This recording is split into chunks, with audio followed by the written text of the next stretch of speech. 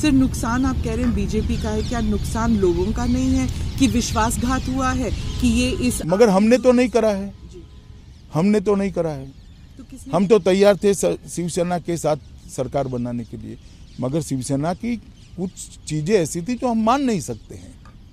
पहले से थे था सार्वजनिक प्रचार में मैंने कम से कम सौ बार कहा प्रधानमंत्री जी ने कई बार कहा और स्वयं देवेंद्र फडणवीस ने कई बार कहा कि अगर हमारी युति की सरकार आती है, बहुमत आता है तो मुख्यमंत्री देवेंद्र फडणवीस बनेंगे। किसी ने कॉन्ट्राडिक्ट नहीं किया। अब कुछ नई शर्तें आती हैं तो हमारे लिए इस पर हमारा रिजर्वेशन भी है।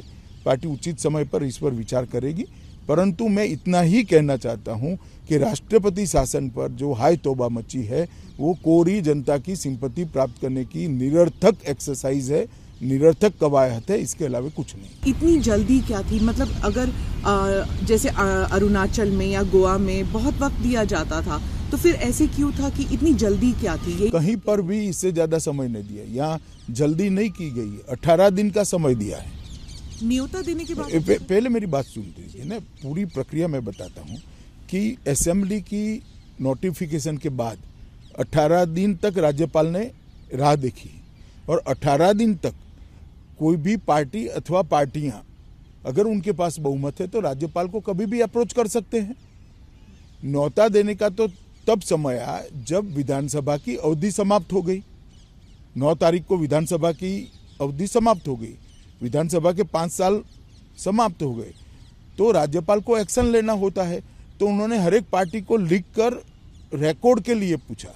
अन्यथा जब विधानसभा नोटिफाइड हो जाती है और उसकी अधिसूचना बाहर आने के बाद तुरंत ही कोई भी पार्टी अथवा पार्टियों का समूह बहुमत बनाकर राज्यपाल महोदय के पास जा सकता था। ना शिवसेना गई है, ना एनसीपी गई, ना कांग्रेस गई, ना हम बना पाए हैं। मतलब भारतीय जनता पार्टी बनाई है तो राज्यपाल क्या करते हैं? और दूसरी बात, ये कह रहे कि हमें एक दिन दिया, हमें दो दिन दिया, सबको समय ही दिया है भाई। अब समय है ना। आज भी अगर किसी के पास बहुमत है तो राज्यपाल महोदय का संपर्क करके वो दावा कर सकता है। कि राज्यपाल का कर्तव्य होता है कि जब सरकार बननी चाहिए है ना? कर्तव्य ये होता है कि सभी पार्टियों को एक अपॉर्चुनिटी दें कि सरकार बने। और वो जानते थे कि सब एक दूसरे से मिल रहे हैं। और अगर भंग नहीं कर रहे तो फिर राष्ट्रपति शासन लाने की क्या ज़रूरत? इसलिए ज़रूरत थी कि आरोप ये भी लग सकता है कि अन्यथा आप भारतीय जनता पार्टी की सरकार टेम्पररी सरकार को चला रहे हैं।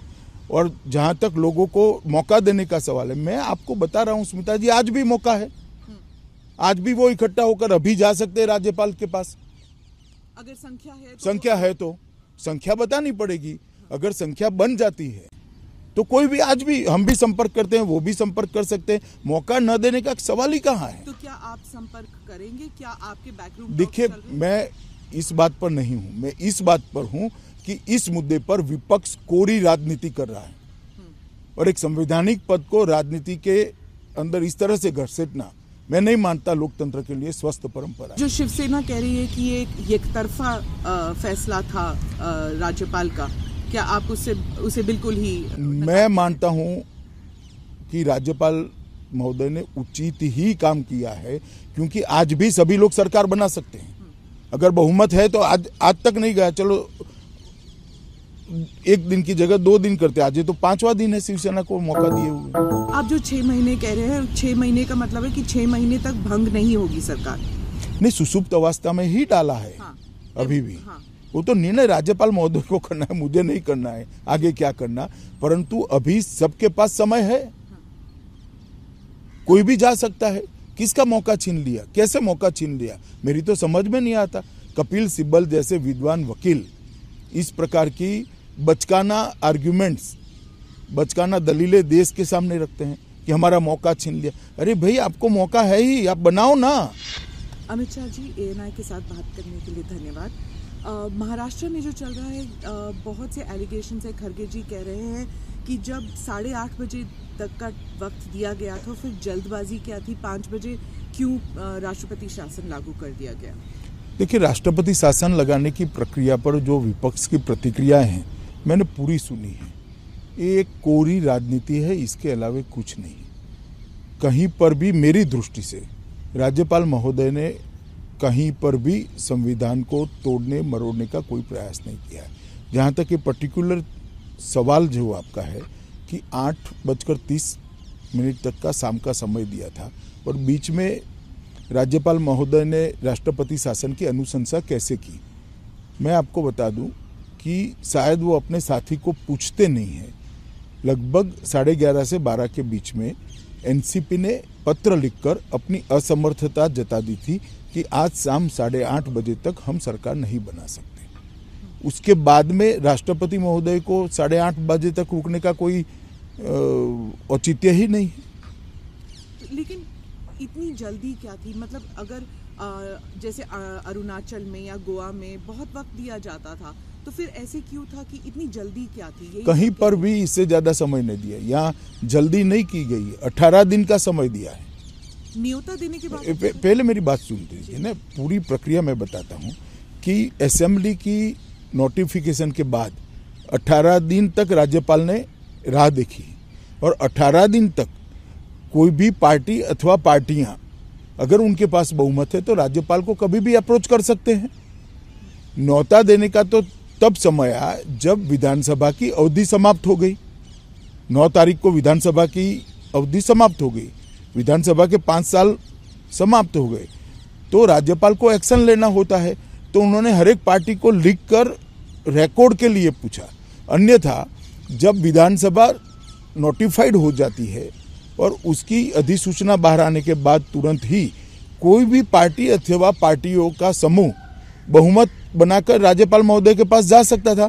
ना शिवसेना गई है, ना एनसीपी गई, ना कांग्रेस गई, ना हम बना पाए हैं।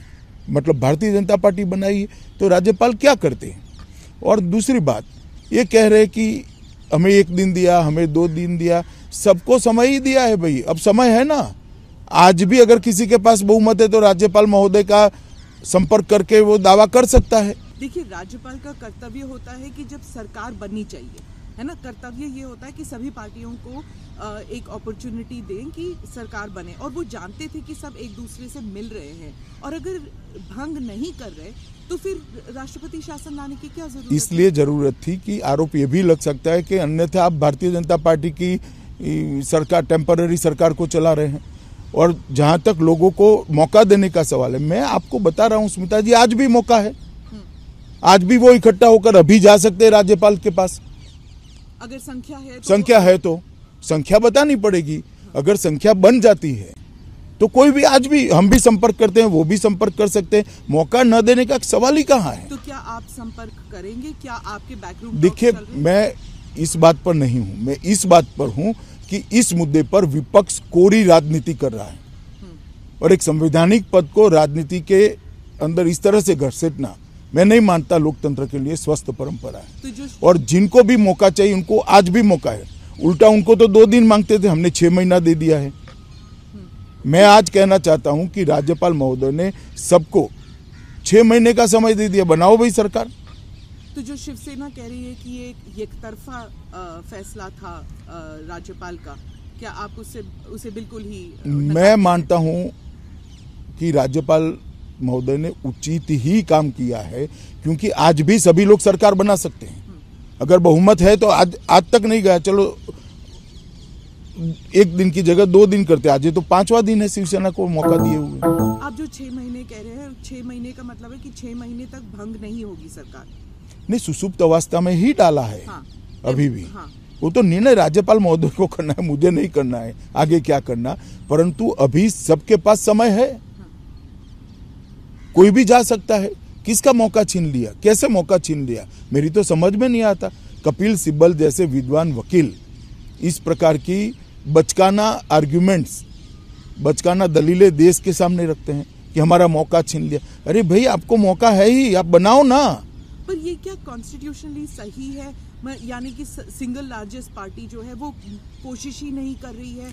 और ऐसे लग रहा है जैसे कि मैंडेट आप उसका मज़ाक उड़ा देखिए हम जरा भी मज़ाक नहीं उठा उड़ा रहे हैं। हम हम एक अलायंस में चुनाव लड़े थे। हम सिंगल लार्जेस्ट पार्टी थे मगर हम काफ़ी सीटें नहीं लड़े थे। हमारी साथी दल लड़ा था। जब साथी दल ने कंडीशन ऐसी रखना चाहिए जो हमें स्वीकार्य नहीं है और हम अकेले सरकार नहीं बना सकते। हमारे पास पाँच सीटें हैं। तो हम क्या कर सकते हैं? मगर जो लोग दावा कर रहे हैं कि हमें सरकार बनाने का मौका मिले मौका मिले मौका मिले मौका मिले तो उनके पास मौका है ये स्पष्टता के लिए ही मैं आज आपके साथ ये संवाद कर रहा हूँ। सर बीजेपी जो है अ, मतलब एक जहर पी के उन्होंने जम्मू कश्मीर में पीडीपी के साथ मिलकर सरकार बनाई थी। नहीं आपकी दोनों विचारधाराएँ बिल्कुल ही अ, अलग थी। फिर भी आपने आप सरकार बना पाए।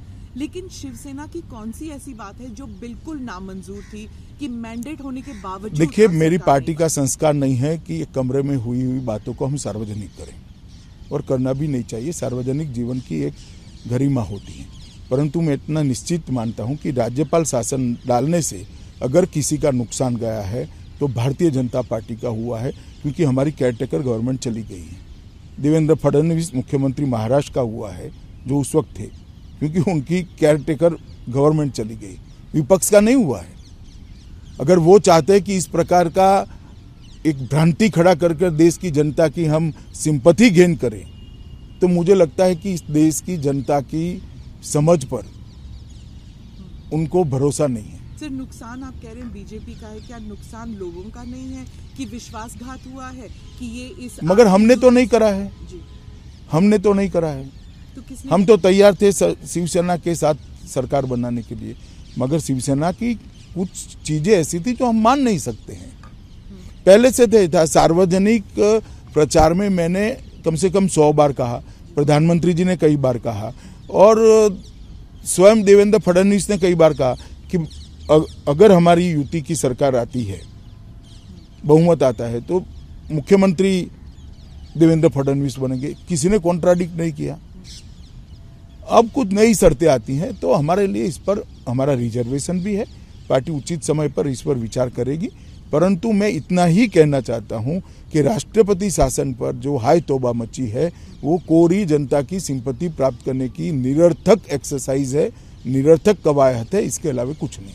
सर वो छह महीने की बात एक बार फिर से समझाइए, क्या कम से कम और ज़्यादा से ज़्यादा छह महीने का वक्त होगा राष्ट्रपति शासन के लिए? उसके बाद क्या मध्यावधि चुनाव होंगे? कैसे होगा? देखिए, मैं नहीं चाहता कि मध्यावधि चुनाव हो। न, मैं नहीं सोचता हूँ मध्यावधि चुनाव हो। जब छः महीने समाप्त होंगे, तब राज्यपाल संविधान के हिसाब से इस पर उचित विचार कर कर कानूनी सलाह लेकर आगे बढ़ेंगे। परंतु मैं इतना ही कहना चाहता हूँ कि जो लोग कहते हैं कि हमें मौका नहीं दे दिया गया राष्ट्रपति महोदय ने बड़ा राज्यपाल महोदय ने बड़ा गैर संवैधानिक काम कर दिया है हमारा मौका छीन लिया डेमोक्रेसी में हमारा राइट है मैं उनको कहना चाहता हूँ कि आपका राइट आज भी है आपके पास संख्या नहीं है। आपके पास अगर संख्या है तो आप जा, जाकर सरकार बना लीजिए। धन्यवाद। धन्यवाद।